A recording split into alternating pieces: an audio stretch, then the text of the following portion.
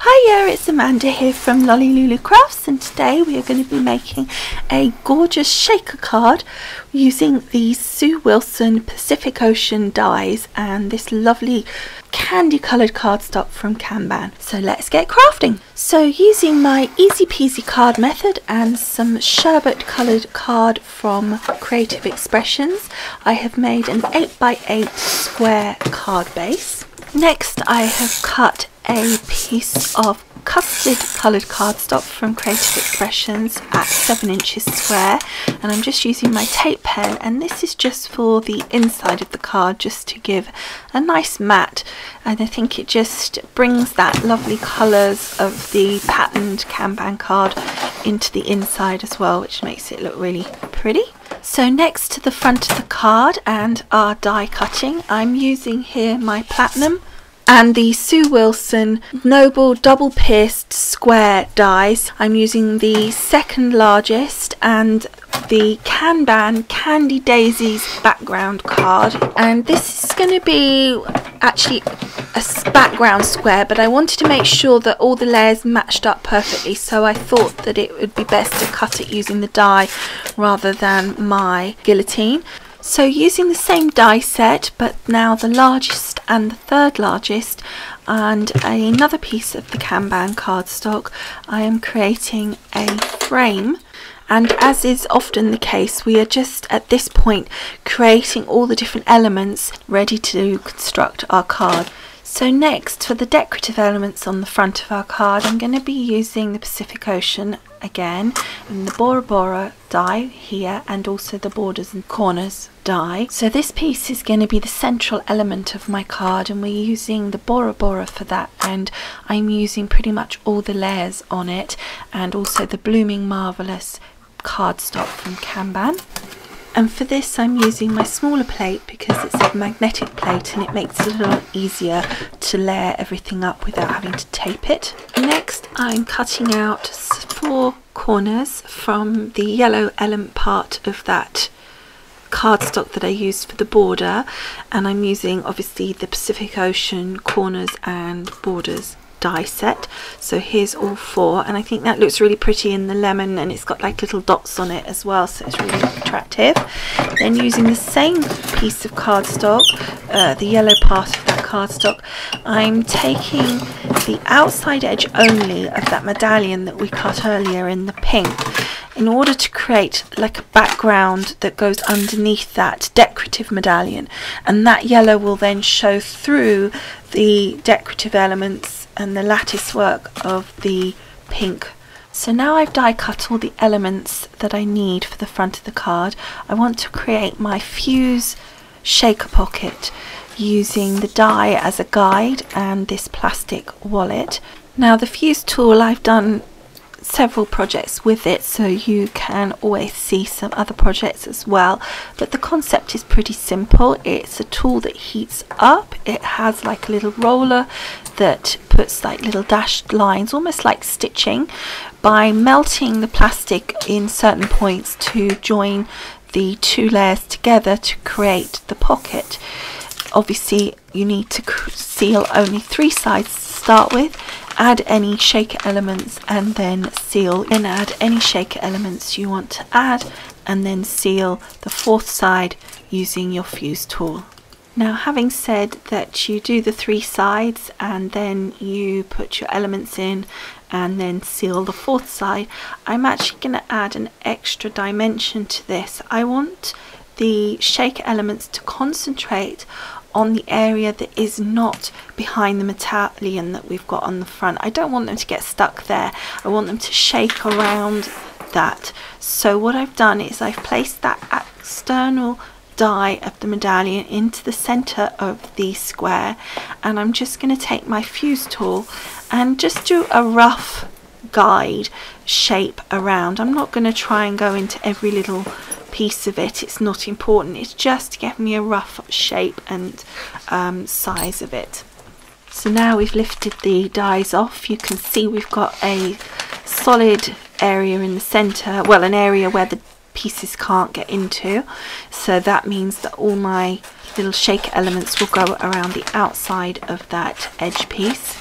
Next I'm just cutting around the outside edge of where I've fused the plastic you want just enough to be able to stick it down but in my case because I've got the frame I need it just not too wide that it pokes out from the side of the frame. Now obviously the top part I've left fairly generous because that's still to be fused together once I've added my elements. So I'm just checking here that it's not sticking out from outside of the frame and that it's sitting all correctly which it is so I'm happy with that.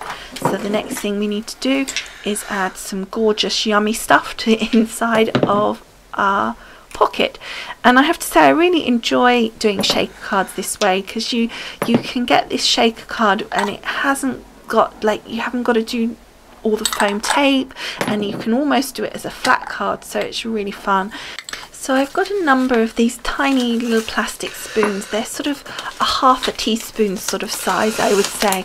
And they're really useful for things like embossing powder and sequiny things like this to add um, so I'm just using that spoon and I'm just pushing the little elements so that they go round behind the circle well it's not quite a circle but the medallion shape so that it's going to go right to the bottom and all the way around so that we make sure that each part of it the edge is going to be having something yum in it so then finally just giving it a good shake and a mix just to make it sure it's all how I want it to be, which I think it looks gorgeous. And then all I'm going to do for the final side, because with the die it would be a bit difficult now the pieces are in, I'm just using my fuse tool ruler to seal that final edge. And then we can finally get to shake it and make sure it's the good time at this point is to make sure there are no leakages and also it's a good way with something like this where I've um, made a shape in the middle just to make sure that it's going all the way around because once you add it to the card it'll be a little bit more difficult and then as with the other sides I'm just using my scissors to chop off the excess plastic. So now we've created all our elements, we get to construct the card.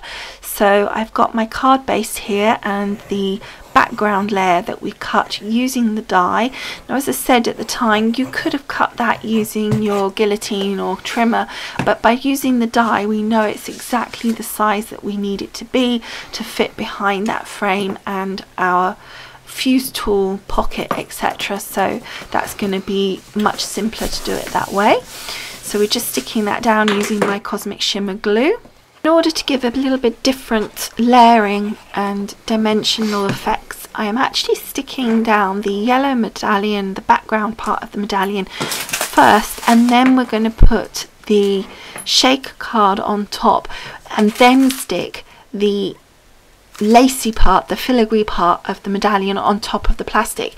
And that was the reason that I wanted the shaker elements not to be behind that medallion because I wanted the yellow to show through and not little bits of um, sequins etc so again using my cosmic shimmer I just stuck that down now I'm just prepping my frames. So I've got here the four corners and I'm just sticking those down onto the inside of each corner. So obviously I'm putting the glue on the right side of the card because it's going to be the right side facing up. So we're just putting it on the very edge there and then sticking that down. So that's that done. Doesn't that look gorgeous? Now, because I want this frame to be dimensional, I've just added some foam tape on all four sides.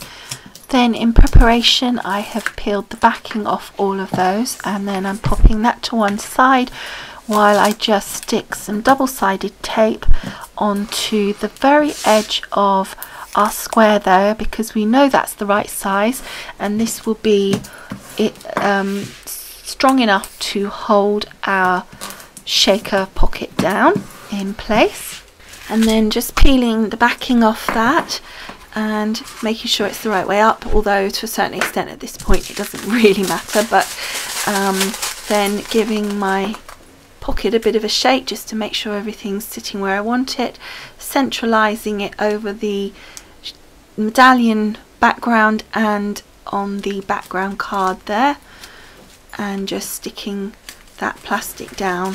And that double-sided tape is nice and strong.